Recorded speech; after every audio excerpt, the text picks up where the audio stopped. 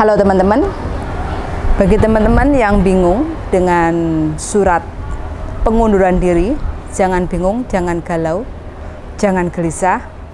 Saya di sini membantu teman-teman yaitu memberikan contoh surat one man notice atau surat pengunduran diri.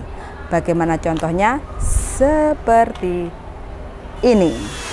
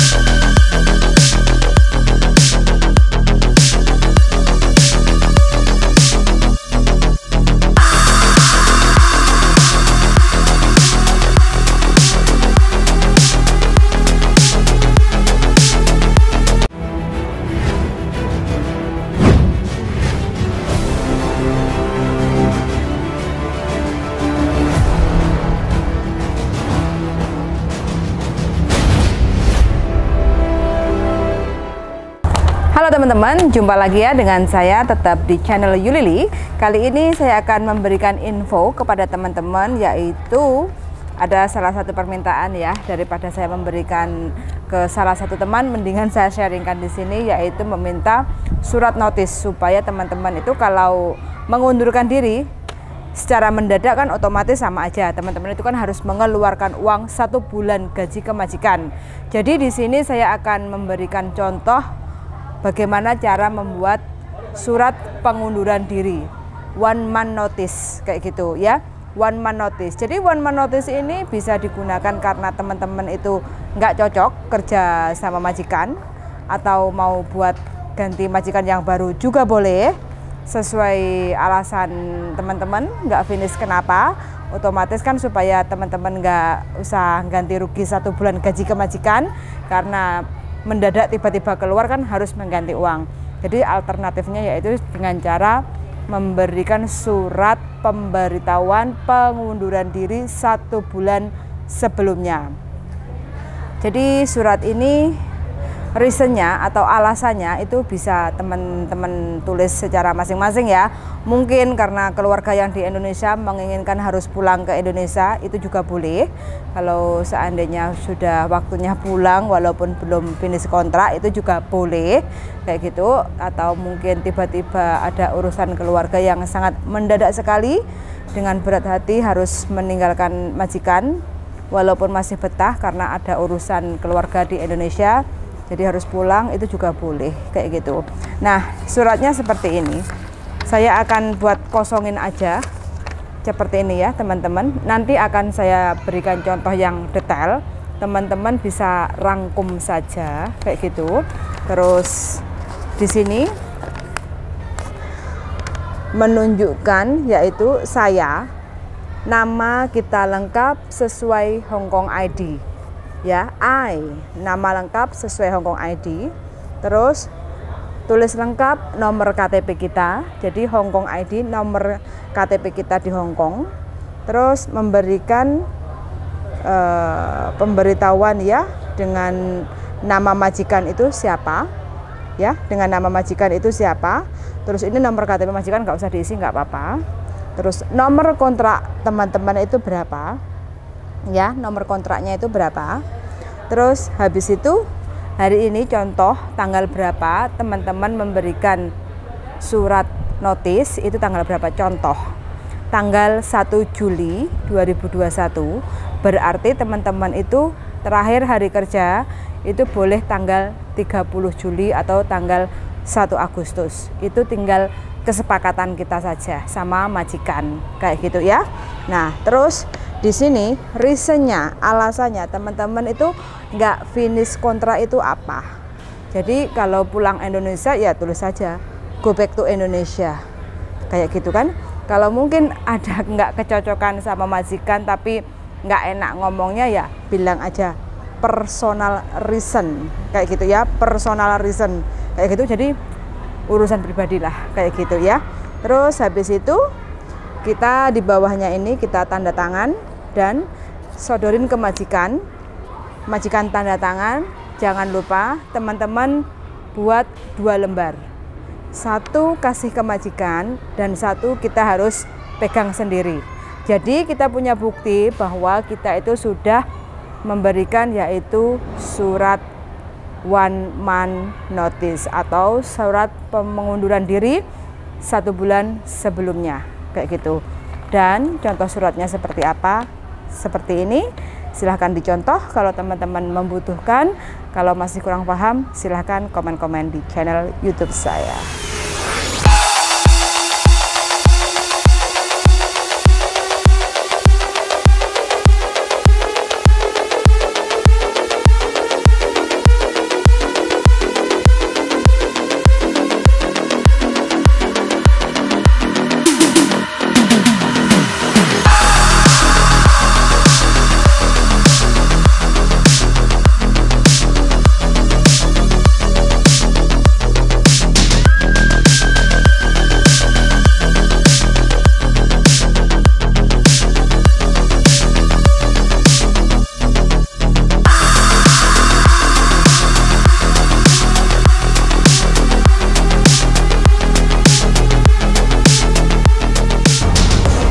Dan yang selanjutnya ya, kalau surat notis sudah kita buat, sudah kita sodorkan ke majikan, majikan sudah tanda tangan, jadi jangan lupa.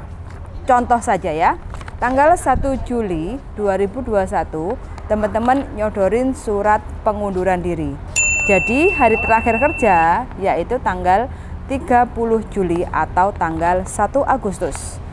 Dan apabila teman-teman sudah tiba waktunya untuk keluar dari majikan, otomatis teman-teman kan di hari terakhir otomatis kan teman-teman akan dimintai majikan untuk tanda tangan tanggal terakhir kerja itu tanggal berapa. Nah, itu teman-teman harus minta ya. Itu biasanya kita sebut yaitu surat release letter atau surat pemutusan kontrak kerja tanggal terakhir kita kerja. Suratnya seperti ini. Seperti ini ya teman-teman suratnya ini penting sekali. Kalau teman teman-teman mau cari majikan atau teman-teman mau pulang ke Indonesia, kalau kita membawa surat ini tuh kita aman. Jadi kalau kita mau cari majikan yang baru, kita punya surat pemutusan kerja dari majikan itu visa kita itu bisa keluar dengan lancar. Yang penting reason dari majikan itu nggak ada yang jelek-jelek ya. Yang mempengaruhi visa kita itu agak lambat turun itu mungkin ada penuduhan kita mencuri atau ada penunduan kita pinjam uang bank terus kita telat bayar terus ada surat datang mungkin dari finance kayak gitu kan majikan nggak terima Nah, itu kadang bisa mempengaruhi kita visanya itu bisa agak lama prosesnya kayak gitu. Jadi ini kita dapatkan di saat kita hari terakhir ya, hari terakhir kalau kita mau keluar dari majikan. Biasanya surat seperti ini kita bisa dapat di agent, kita bisa ambil gratis di imigrasi atau kita bisa download di websitenya imigrasi Hong Kong kayak gitu.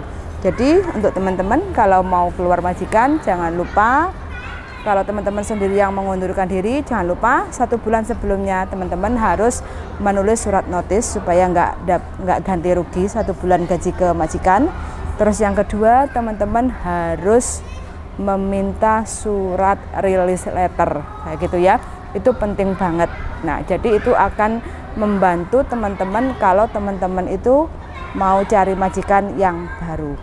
Terus yang terakhir yaitu masalah hitung-hitungan duit. Nah, biasa ya hitung-hitungan duit itu kalau hari terakhir kerja teman-teman kan pasti dapat kalau teman-teman putus kontrak atau finish kontrak otomatis kan teman-teman tetap mendapatkan yaitu tiket pulang ke Indonesia bagi teman-teman yang memutuskan untuk pulang ke Indonesia. Tapi kalau teman-teman masih belum kepengen pulang ke Indonesia dan mungkin cari majikan yang baru, bahasanya yang baik-baik aja, minta yaitu uang untuk ganti tiket. Jadi mudah-mudahan dikasih. Kayak gitu. Jadi nggak ada hak tertulis bahwa harus dikasih uang. Kalau karena kita nggak pulang itu nggak ada. Jadi gitu komunikasi aja antara kita dan majikan. Kalau kita bicaranya baik-baik majikan mengerti ya mungkin bisa dikasih uang ganti tiket pesawat. Karena kita kan memang selesai kontrak atau kita keluar dari majikan tapi kita nggak pulang karena adanya pandemi. Nah kita bisa untuk mendapatkan uang ganti tiket kayak gitu.